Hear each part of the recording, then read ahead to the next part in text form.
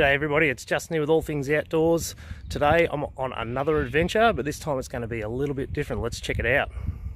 So we've had some absolutely cracking weather lately, which is kind of uh, a bit peculiar for this time of year. Uh, we're in late May now and uh, basically winter's like about a week away, but we're uh, getting these temperatures up in the, the low 20s. So I thought I'd take a uh, final opportunity. Hopefully it's not a final opportunity, but I'll take an opportunity to get on the water before it gets really cold. So today I've brought the, the little tinny down to the junction of the Ovens and Murray Rivers. And the good thing about this junction is it's it forms a little bit of a delta. So there's a there's a whole maze of, of creeks and anabranches that you can explore through there. And apparently the fishing's supposed to be pretty good around here, but this time of year it sort of tends to slow down a bit. So we'll have a bit of a fish, have a bit of an explore through the delta, and potentially look for some future camping sites.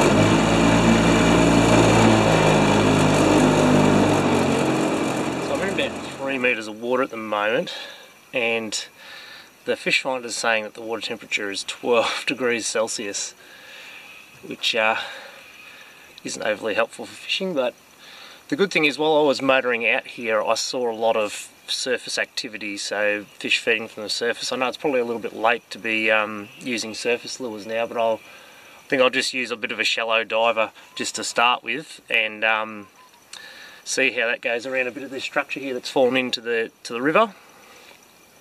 I'll give that a go for a while and if we don't get any success on the um, subsurface or you know shallow diving lures I'll uh, change up to something else.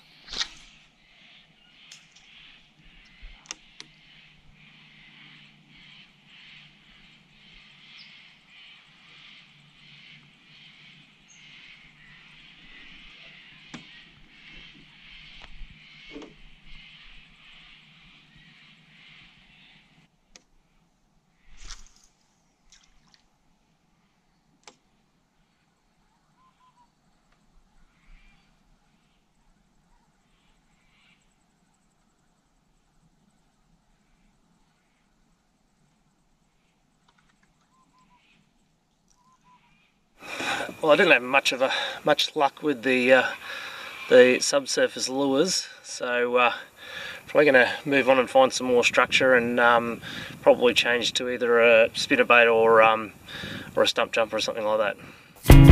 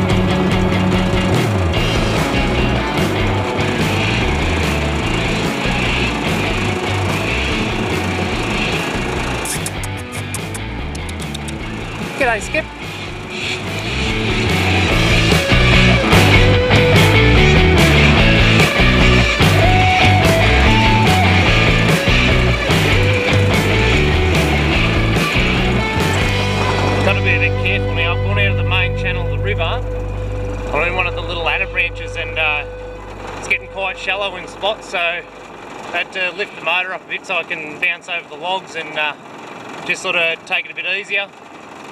Well, I've never been through this part before so I don't know what, what's ahead of me. But uh, this will probably be the order of the day I guess. Um, sneaking across uh, from the Ovens into the Murray through the, the delta down here. But that's alright, we've got all day so we can just uh, take our time and just motor nice and slowly through this area. But what a beautiful morning. Gotta love this uh, this weather at this time of year. It's absolutely magic.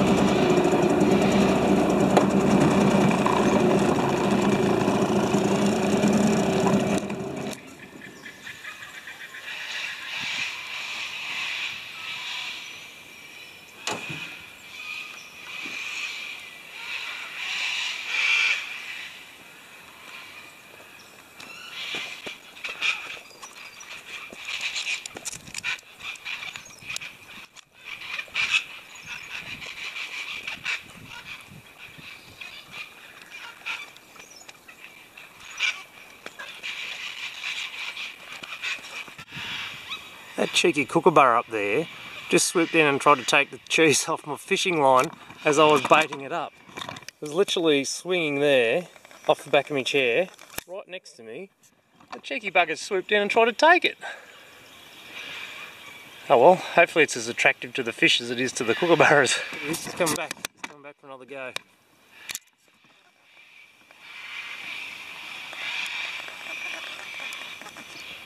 Think we better make a peace offering. We'll give him a little bit of mozzarella and then he might be my friend.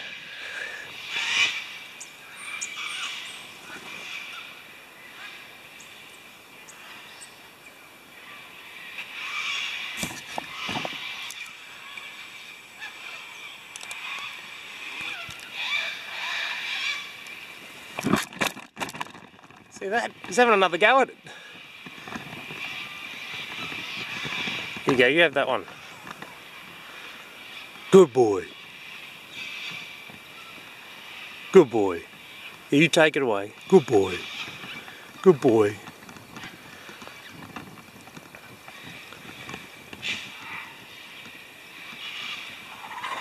Let's get crazy here and put a piece on my hand and see if he takes it out of my hand. Come on. Yeah, cookie, cookie. We'll call we'll call him Cookie. Yeah, Cookie. Come on, Cookie.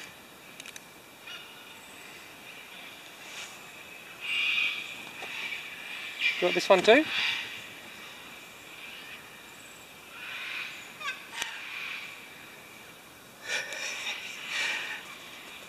Oh, Cookies, mate, just turned up. We'll call him Barry. Barry. Barry. Yeah, Barry, that'll do. Kookaburra, Cookie Barry. Hey, Barry. Oh, oh, there's a fight, there's a fight. Fight, fight, fight, fight. Hello, here's two more. Got no idea what I'm going to call those guys. Yeah, I better get this line in the water and then I might uh, socialise with the locals a little bit more. So that bridge behind me there is actually a, a private bridge because the delta that uh, joins the Ovens and Murray rivers creates this massive big island in the middle of it. I think it's called Wallace Island. Yeah, Wallis Island. And uh, they, they, need access across the island obviously because there's uh, there's a lot of um, paddocks over there so I'm, I'm, assuming they're privately owned so they need access over the island so that's why there's a bridge there um, yeah so we'll uh, we'll actually be going under that bridge once we finish Smoko here and um, heading up towards the Murray River again ah, ah. you're being very cheeky cookie Hopefully he doesn't take it take it off the line as I cast into the water.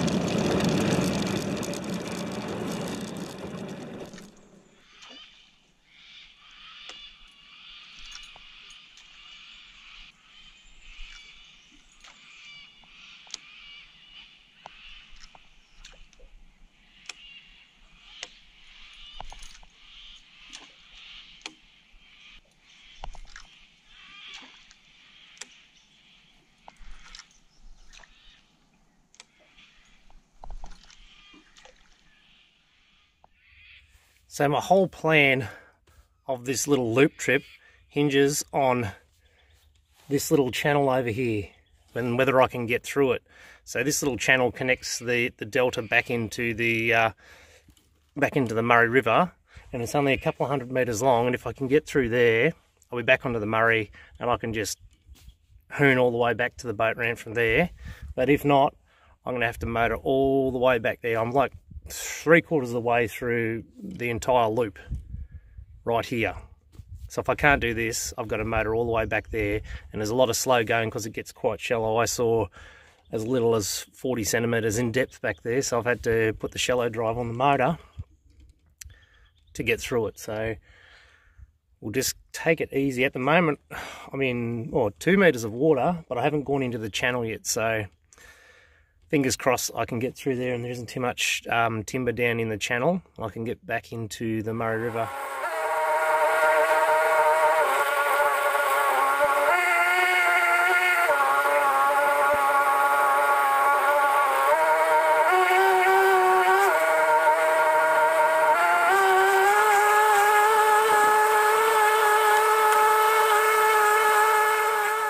channel was uh, no big deal whatsoever. I think the the shallowest it got was about one and a half metres. Um, I'm not quite in the Murray yet. I'm actually on the New South Wales side of the border, but the the central course of the Murray's just up this this way a little bit. So I've just got to slowly motor up there until I'm in the the proper channel. But I'm actually in New South Wales now, and just on that point too, I've actually bought a three-day New South Wales fishing licence because I'm in both Victorian and New South Wales waters, so to cover off both uh, both states.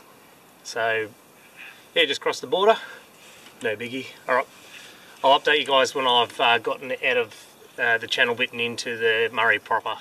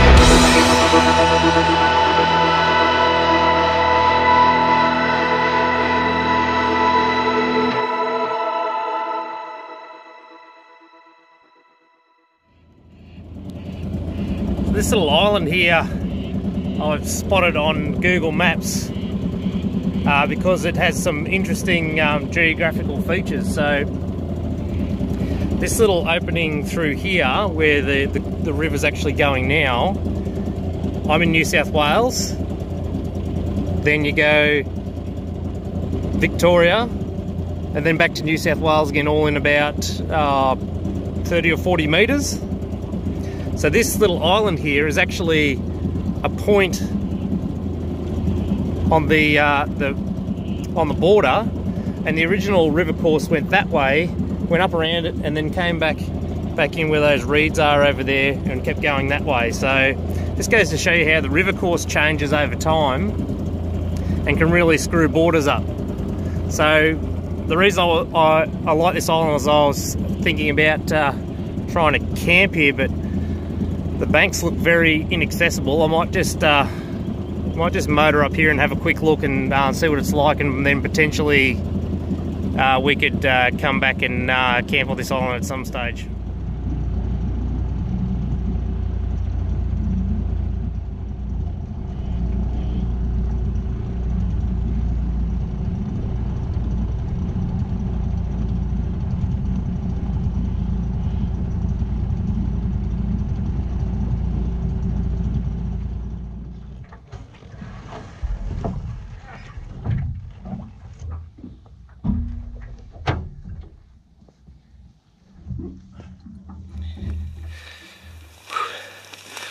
Found a way onto the island. But she's pretty overgrown. Probably a snake haven as well. I can't see any clear spots to to set up camp. Anyway, we'll go for a bit of an explore. Hopefully the boat will be there when I get back. Tiny little bit of a clear spot here, but just be painful to get around, I think. Plus it uh, seems that it'd be a bit of a mosquito haven, especially in the warmer months. And snakes of course too, so I don't think it's probably a viable option. Oh well, that's why we come out on these little trips to explore and uh, find new places to go and do stuff.